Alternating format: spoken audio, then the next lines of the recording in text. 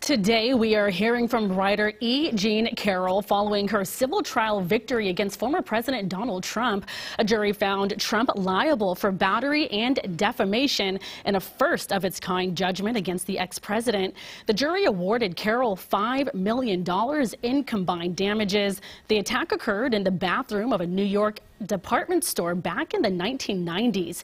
Carroll called her legal victory against the former president, quote, a wonderful feeling.